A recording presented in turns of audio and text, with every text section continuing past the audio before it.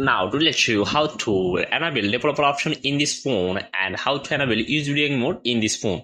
If you want to enable your phone developer option or enable your phone USB debugging mode in Vivo Y03T phone, for this first you have to find the option called settings.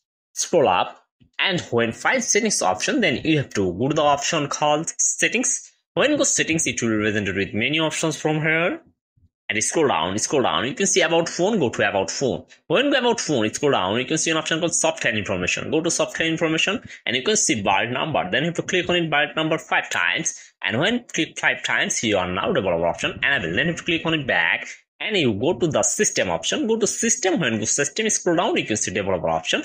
Go to developer options and scroll down again. If you want to turn on your, your phone is viewing mode, you just turn it on this option is viewing and click OK enable your phone is viewing mode. And if you want to disable your phone developer option, you scroll down, you can see an option on, just turn it off and disable your phone developer option